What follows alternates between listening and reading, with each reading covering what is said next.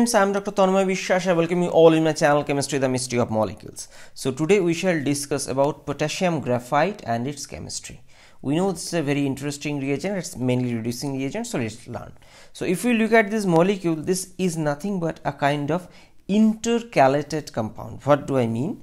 Uh, okay, before go let's learn that synthesis. So potassium when react with graphite near about 180 degree centigrade or 200 degree or 150 degree centigrade. Means what happened? In this temperature potassium got molten.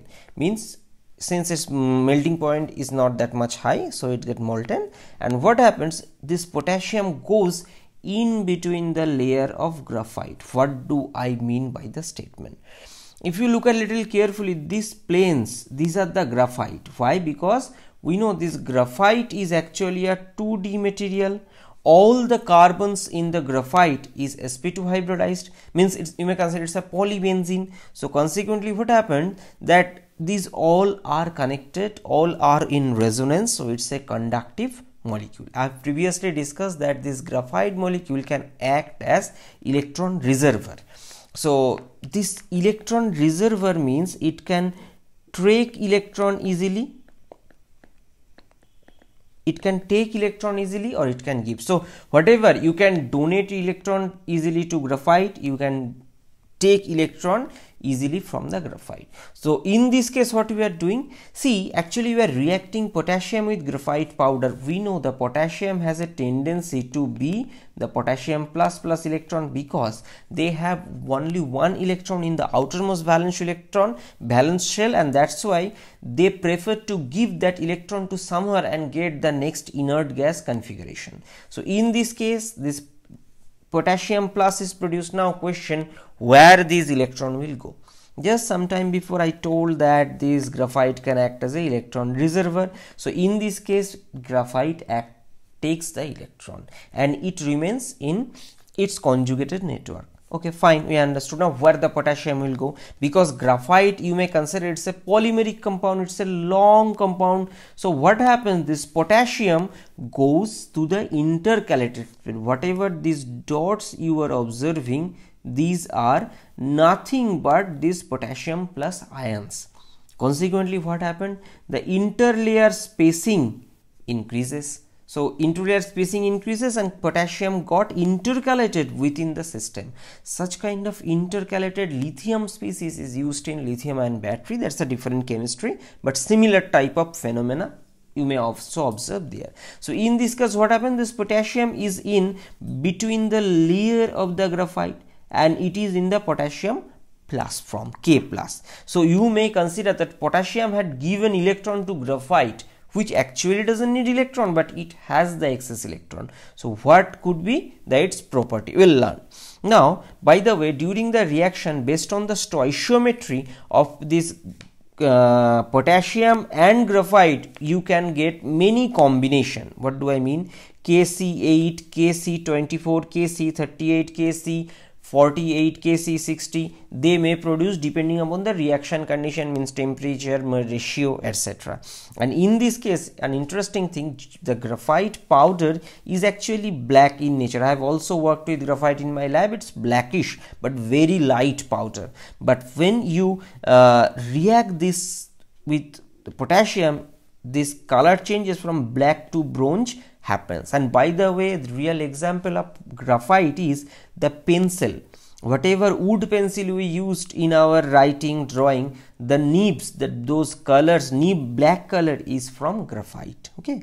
So this is actually since this graphite is containing one electron additional electron and potassium plus because of this excess electron this gra potassium graphite solid is pyrophoric although graphite itself is not pyrophoric pyrophoric means that it spontaneously catches fire when you bring it in contact with air or moisture. Means it automatically ignites and i have already worked in uh, in my lab about uh, this uh, working with this pyrophoric material and whenever i have taken that material out of the glove box or you can say dry box when it came to contact with moisture it automatically ignite means fire catches. This is a very interesting as well as dangerous. Okay so let's go. So whatever about its chemical property is kc8 stable? Obviously this is moderately stable or the more accurate question is who is more stable between potassium metal or potassium graphite? Obviously potassium graphite. Why? Because potassium metals those alkali metals are very very reactive okay? So but since potassium is in k plus and the electron is on a conjugated network so that's why. Another interesting example is that if you take potassium and mix with 18 crown 6 then potassium prefers to go plus state because potassium potassium plus is highly stabilized by crown ether whereas the electron but potassium metal is not stabilized by the crown ether okay?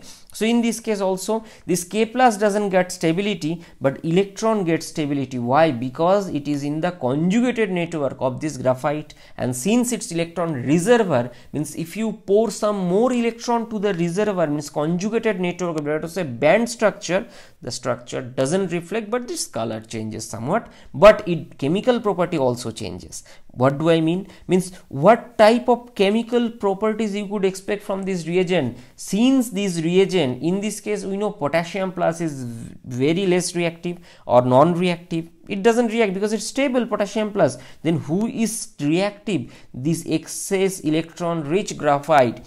Since it is electron rich so we, we can expect that it can act as a reducing agent so this is reactive reducing agent okay? And in many reduction in chemistry organic or inorganic chemistry this is used. Now let's discuss little bit about its application. Uh, this met for metals dispersed on graphite in organic synthesis. Means whatever this potassium graphite is reducing agent. So if you react this uh, for example m plus cl minus and if you react this kc8 it's a reducing. So what it will do? It will reduce this m plus into m. Okay? So this is the pure metal. Now let's read this thing little carefully. That potassium graphite is easily prepared by melting potassium over graphite as I told 150 to 200 degree centigrade under argon. Why? See, this is a electron excess in the system and we know means you may consider that is it is actually a potassium plus graphite okay? And we know that air can contain moisture or oxygen etc so mainly the culprit is moisture or moisture or you can say this is nothing but water. So water react and it may produce potassium hydroxide and damage the reagent. So not only this for that purpose whatever argon we are using here under argon that argon should also be dried. This special setup is made to dry gas through a column. So that's a dry environment. You may better to say you may consider it's a Schlenk line. G L E N C K Schlenk setup so it is nothing but a Schlenk setup. Okay fine. In the second step uh, it has been used in heterogeneous reagent. Why heterogeneous? Because graphite is not soluble in organic medium. So this consequently this potassium graphite is also insoluble. It's heterogeneous and several reaction including Birch type reduction alpha beta unsaturated carbonyl compound carboxylic in every case it's reducing agent okay? So reduction of vinylic allylic uh, sulfones etc done this, this potassium graphite also been exploited to prepare active metals or highly dispersed on graphite surface. What do i mean? See we just sometime before i told that this reaction is possible reduction of metal on metal using potassium graphite. Now whenever you are reducing metal means in ether solution you are doing this reaction anhydrous ether. So the metal first individual metal particles are produced may um, next step subsequently they can combine and produce metal nanoparticle which will deposit on graphite because graphite is actually a 2d plane. So these metal could be deposited on this 2d framework or you may consider not only nano they can produce bulk. So in this way whatever we get we get graphite metal composite or you may consider actually low valent or zero state oxidation state of the metal. Why? Because metal got reduced. Now we must ask that sir why the metal will reduce? If you look at the periodic table potassium is in the alkali metal series and alkali metals are strongest reducing agent.